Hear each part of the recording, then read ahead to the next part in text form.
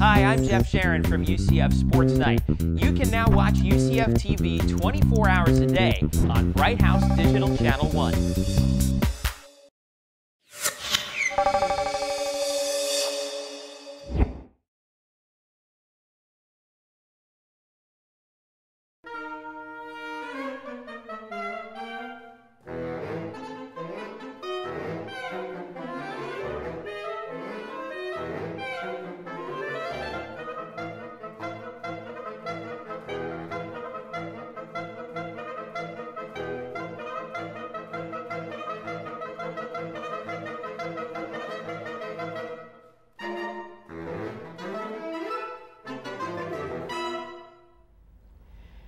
Everyone. I'm Charna Davis Weesey, and welcome to UCF Expressions. Today, I don't know how to introduce my guest. I could tell you he's a physicist, or I could tell you he's a philanthropist, or I can tell you he's a composer, a musician, or all of the above plus more. Please join me in welcoming Steve Goldman. I'm really impressed that you had the time to come here and talk to us. Oh, well, I appreciate the opportunity. Every one of the guests I come on here seems to do so much, and you really even do more than anybody else I've ever.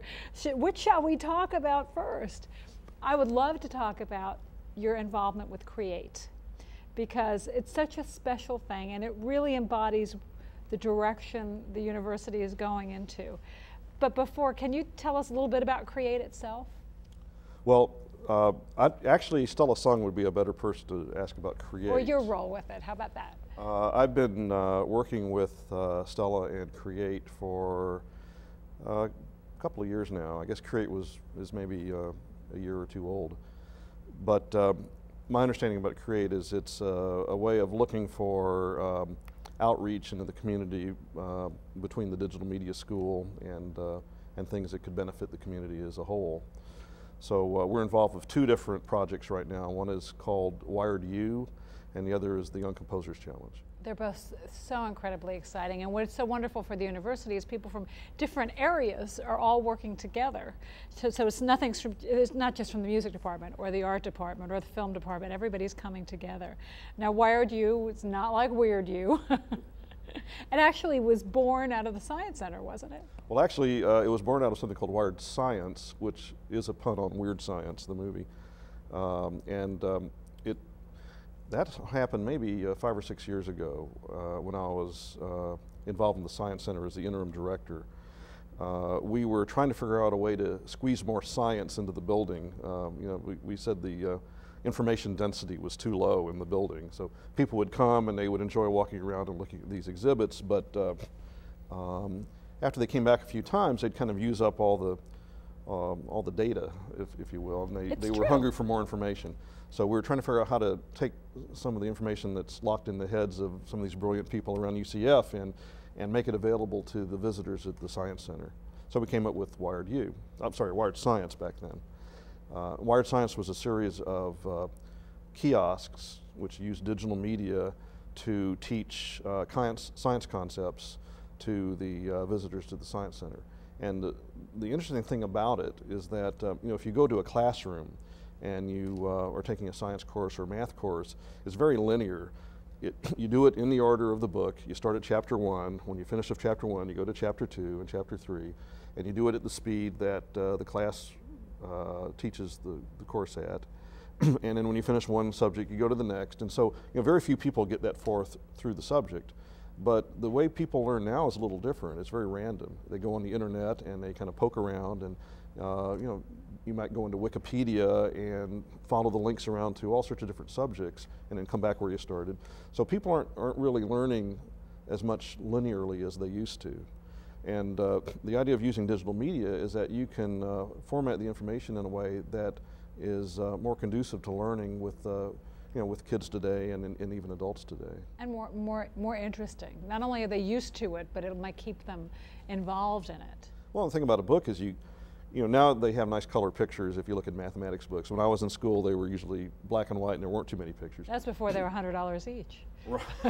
True.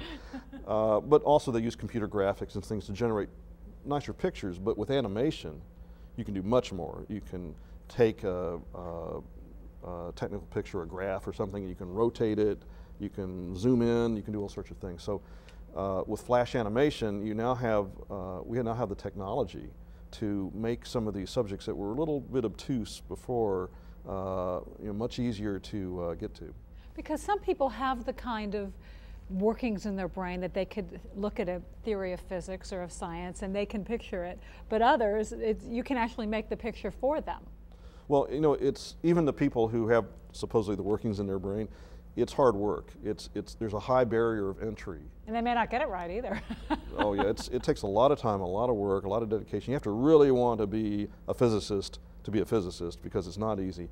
Um, and most people, let's face it, aren't that you know dedicated to uh, have to wade through all that that stuff. So, uh, however, a lot of people are very interested in, in what's involved with physics and math and technology. Uh, and they're willing to to learn, but uh, you know they're not going to necessarily dedicate their life to it and major in physics or math. Uh, so currently, there's not too many ways that you can learn about these subjects in a detailed way unless you go on to say public television or some of the uh, educational channels, and, and it's very limited uh, as to the depth and the information that you can get there. And science centers, the same thing. Science centers, uh, there's um, there's a lot of kind of gee whiz, you know, snappy poppy stuff that uh, is exciting and it makes you want to learn more, but then where do you go to learn it? So the idea of wired science is it, it takes you into that next step. You can kind of delve into it and learn a lot more information that, uh, that you wouldn't get in a science center or on TV. And this is, this is a real passion of yours to make uh, concepts of physics and math more accessible. And it could lead to the answers to things we've asked for many, many, many, many years, centuries as well. Well, I think one thing it could do is, uh, you know, I think the, uh, there's a big rift between the scientific community and the general public, and that's not good for the scientific community or the general public. Uh, because in America, you know, we're very dependent on technology. It, it everything we do is uh, based on this technology, and yet, how much of it do you really understand? You know, do you really know what's going on in your computer or how your television works or? I still don't know how the old wired phones work. exactly. yeah, and I, I, can't say I do either, but, uh, but um, we're dependent on this technology, and yet uh, we uh, are losing our edge to a certain extent uh, when you're looking at how we rate, how we rank against other countries in the world. We're still the best, I think, but we're that gap is narrowing. and so we need to find better ways to, uh, to educate everyone, uh, especially the kids, uh, but everyone on, on these subjects. And it's not that hard to do. We have the technology, we have the brain power, we have the money, uh, we just haven't done it. Let's talk about some of your characters and part of the animation. Uh, Professor Schmohawk, is it? Wired U, yes, the main character of Wired U now is Professor von Schmohawk. I remember the name. it's, it sticks with you for some reason. he is a kind of an interesting character. He's, he's kind of some of the professors I've known here at UCF all rolled into one person. uh, you know who you are. Yeah. But, uh, and then there's various students in the class. Uh, it's kind of a digital classroom. Uh, there's uh, Hulk Moose Masher, who is the jock in the classroom, and there's uh, A.V. Geekman, who's kind of the audio video geek. Um, he's kind of a nerdy character, and uh, he and Hulk kind of have this thing going. Uh, uh, and then um, there's uh, Adrian Science-Stein, who is um, uh, a female character who kind of has a, a, crush on the professor. And uh, there's the I've seen the professor. That's kind of odd. well, yeah, true.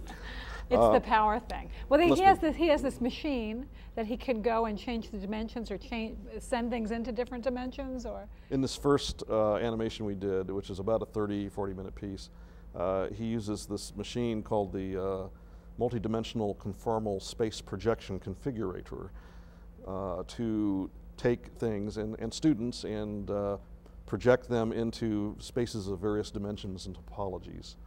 So he'll, he takes, for instance, uh, Hulk Moose Masher and projects him into a two-dimensional space and then curves it around in various topologies. And uh, you know, I, I, don't want to tell you too much about it. It would. But you do have a, a photograph to, of showing us how not only is Hulk in two dimension, but the, the, professor throws a ball at him to see what happens in it, or? Yeah, he, he passes a few things through the two-dimensional space to, to see what Hulk would see, and uh, and we use splitovision, which is a uh, wired U patented concept to, uh, to show what uh, you would see and what a, someone in a two-dimensional flat space would see. And you also did something with the shape of the earth as well. Yeah, we we uh, used, actually the technology that we're getting into with this is kind of interesting because we're using flash animation, but we also are using a lot of 3D graphics animation programs to generate things you couldn't generate in Flash and then importing those and combining them with Flash. So we're, we're kind of breaking some new ground here even technically on this.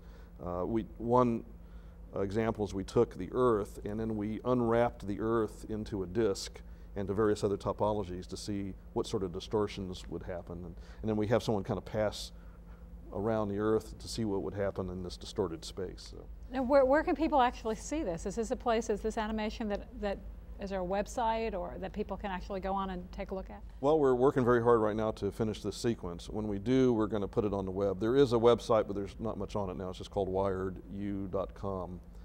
Um, but it's a little too soon to go to it. I think we'll probably be finished with this first animation by the end of the summer. Keep checking. Yes. what gave you the idea to do this? Now you did you you had a computer, a computer industry business, and then went into philanthropy and all these different things. What made you decide that you know what I really want to bridge this rift between the general public and the scientific community? Was there any was there one motivating factor? Was there one impetus? I think it's just you know it's been my experience in life that um, it's been very there's a high barrier of entry as I said to get into the technical subjects, and I, I've had the motivation to do it. It's been hard work, but when you get into it, you see some amazingly beautiful things, and um, things that anybody can appreciate. You don't have to be a tech head per, per, per se to appreciate these things, uh, and yet 99% of the population has no idea. Uh, and it, and we, we make it too difficult, I think, for just a normal person to uh, understand this stuff, and there's no reason for it. I think, I think one experience I had was homeschooling my daughter. And she was, I think, 16 at the time, and um, I had to teach her algebra. And so we, we started going through the algebra, and, um, and then it just turned into practicing these equations and the you know, binomial um, equation, everything over and over and over and over so again. I guess she, she was not really loving doing it. She got turned off to it. And I, at some point I went, you know, she's never going to have to do this. I would really like to go on and teach her a little bit about trig and a little bit about calculus and even a little bit about uh, differential equations and complex variables and some other things without her necessarily having to do integrals or, or uh, do problems. I could at least teach her the concepts behind it so she could have some appreciation of what's involved. And if she ever did want to know, she'd know where to go to get it. But she's not going to remember this kind of detailed information anyway. You know? So let's, let's paint the big picture and do it in a, in a way that's really enjoyable to show her the beauty behind it. Um, unfortunately, the public school system doesn't really let you do that. So that, that was one of the motivations. So that was the motivation to say, well, maybe, maybe other kids can benefit by this as well. Absolutely, yeah. Because, you know, even when I look at how my children are taught versus how I was taught, it's still better than it was when I was a kid. True. And you're right, you know, my, my oldest will have math that I know I've done, and I, I did well in it, but I have no clue how to do it. Well, it has, remember it, even? it has, and it has left the building. It is not in here anymore, but it's true. You, you, you don't have to remember it, you probably don't. Well, we, we get very um, engrossed in problem solving. Most education is, is based on problem solving today. So if you, if you learn math, you basically work on solving these various types of problems. And if you're doing calculus, you do integrals and whatnot. But um, people, you need, do need some problem solving, but people learn conceptually much better. And the concepts stick with you forever. You may not remember how to solve a problem, but you'll remember the basic concepts behind the subject. So we don't do enough of that. You know, it's true. I have a cousin who is president of a very large math organization. I'm not a math person. I don't know what it's called. You would probably know and um, they were going, all these mathematicians were going on a trip to Italy. And my sister, who is an artist, decided to go with them. And I remember we were laughing. It's like, oh, goodness, you go to Europe with all these mathematicians. Wow, it's going to be a lot of fun. Sounds exciting. Sounds like, but when she came back, she said it was really exciting because they saw math everywhere They saw math in the way the tiles, the, the, the, the, tiles were laid out in the streets or the, or the, the steps by the Vatican. And she said it was actually very eye-opening that math was all around her. And I said, oh, you're changing. you're going to go, go back and become a mathematician. But they saw, and what led them there, something that the rest of us didn't. There's the rift. Mm-hmm. You know, there's the rift, there's the gap. So she actually did have a, a lot of fun with the mathematicians. Well, there, there's a lot of beauty in math, really, but you have to get into it far enough to see it. Well, something that more people will understand, we'll talk about after our break, is the beauty in music, which is another one of your passions, and we'll be right back.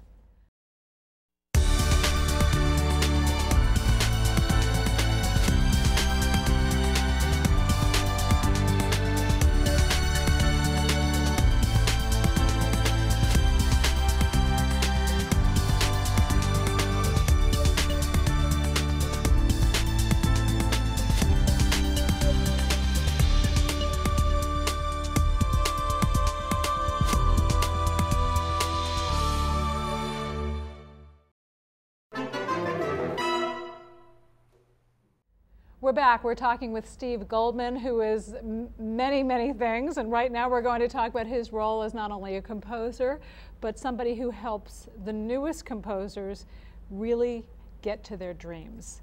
The Young Composers Challenge. Where did that come from? I mean, were you sitting listening one day, day thinking, gosh, if this was available when I was a kid, or how'd, how'd that come from? How'd that come up? Well, I, when I was um, in high school and middle school, I was attempting to compose music, and it was very difficult. Um, most band directors aren't really focused on composition because that's not what they do. They teach marching band, uh, they teach you to play your instrument, they teach you to read music, but uh, if you want to learn composition, there's not a lot of places to go. And uh, uh, so, you know, that's one of the reasons you don't have a lot of young composers. But if you don't have a lot of young composers, you won't have a lot of old composers. So part of or this any is composers one day. true. Well, you know, it's one of these things as we were talking about with with uh, science and math. There's a high barrier of entry. It's it's difficult to figure out how to get into it. Uh, the information is not readily available. So um, the idea of the Young Composers Challenge originally was just to get uh, give a uh, chance for local young composers to have their pieces played. Um, and originally we used the youth orchestra to do this. Uh, but a couple of years ago, we made the transition to using the actual Orlando Philharmonic Orchestra, you know, 65-piece group, and uh, they played the pieces on stage at the Bob Carr, and it was like night and day. It was amazing, uh, but it was it was so exciting. There was so much drama involved. if you can imagine a, a, young kid in middle school or high school uh, having their piece played by a 65-piece professional orchestra on stage with an audience at the Bob Carr uh, and sounding great.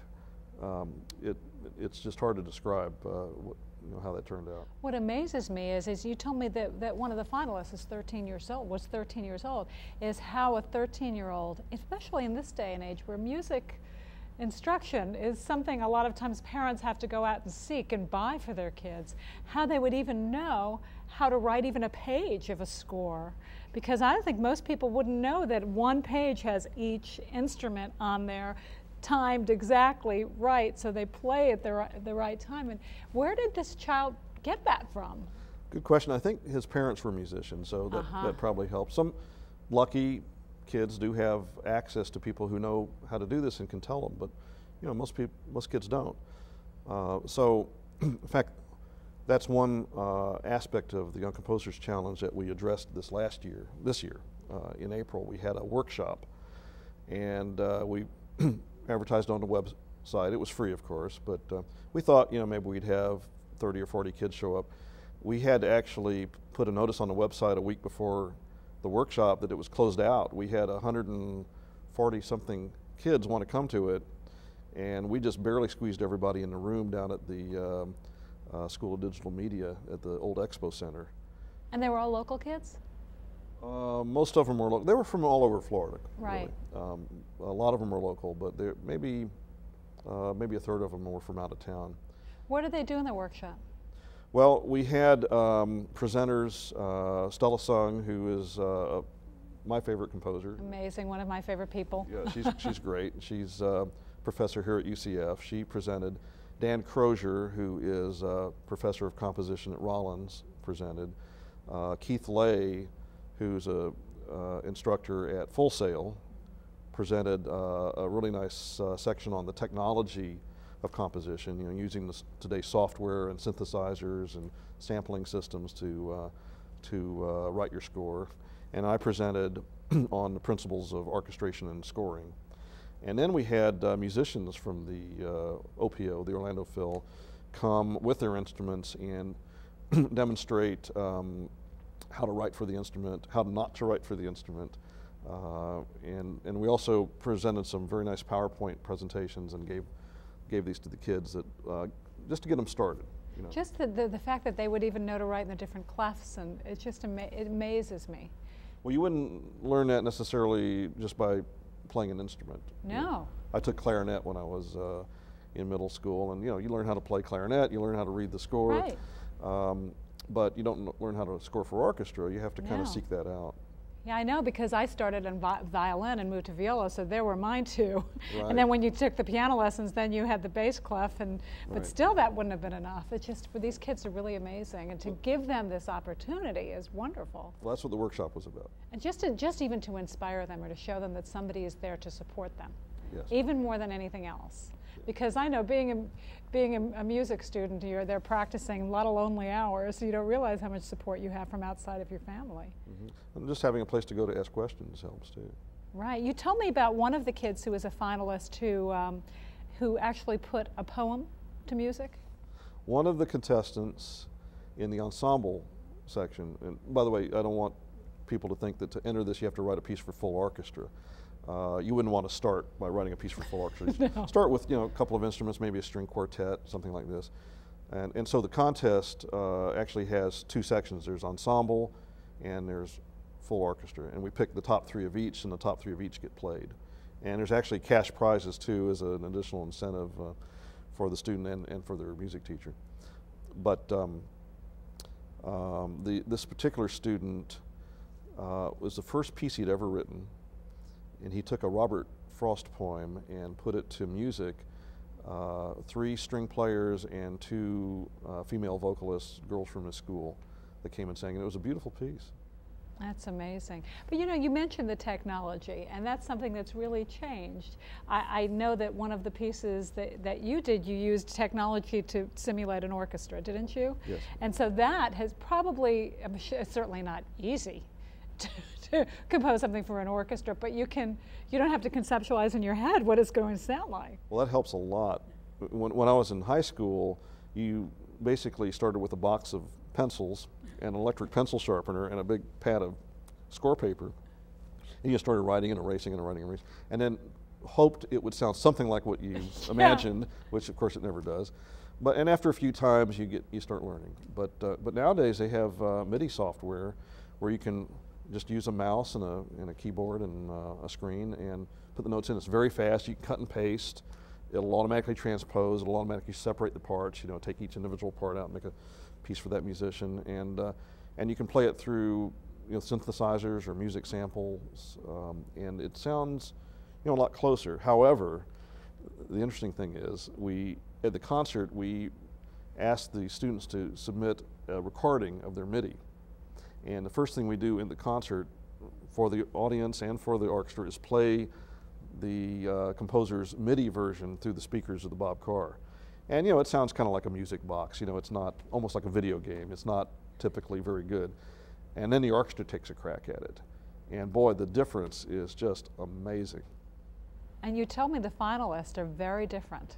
The ones that for this last this last group of finalists, each piece was very different. It was. They were very. It was very difficult to choose the top piece. because It was like apples and oranges and bananas. Uh, one piece was kind of Beethoven-esque.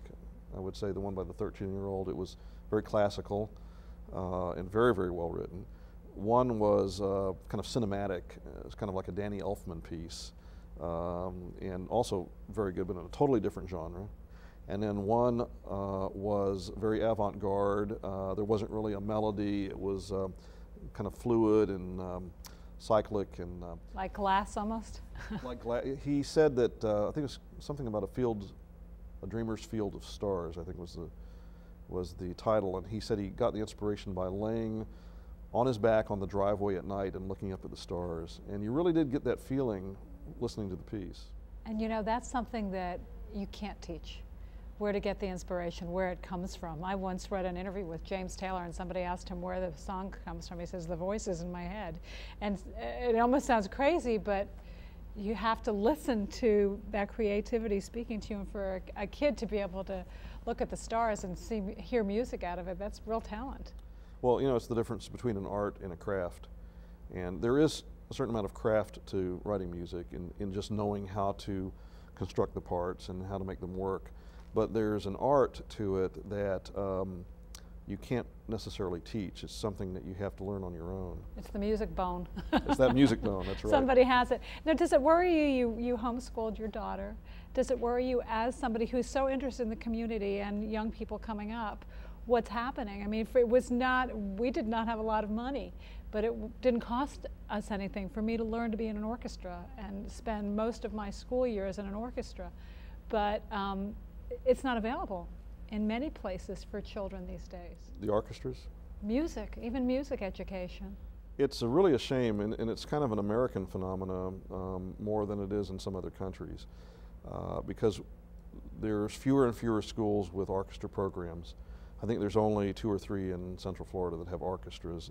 There's a youth orchestra, but um, most kids don't have the opportunity to uh, really be involved with the orchestra.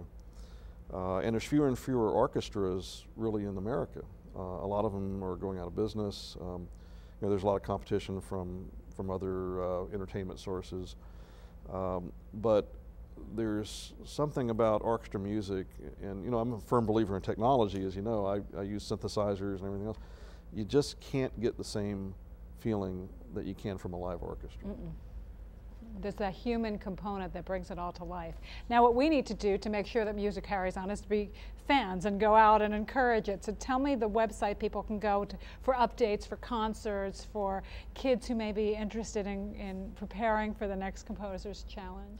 The, the website for uh, the Young Composer Challenge is called is www.youngcomposerschallenge.com or .org. You can get to it either way. Either way. And there's a lot of information, and there's also um, uh, MP3s of the compositions from last year and the MIDIs, the MIDI version and the actual orchestra version, so you can hear the difference.